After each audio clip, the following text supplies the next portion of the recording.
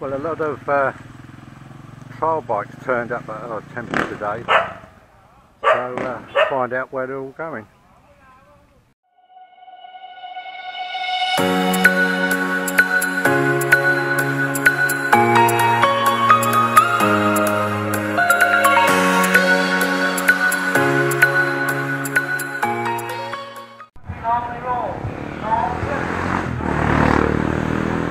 uh, trials clubs from uh, all over Thailand.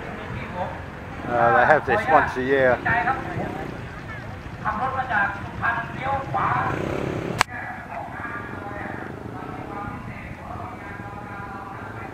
Quite a few uh, bikes here, a few quid's worth.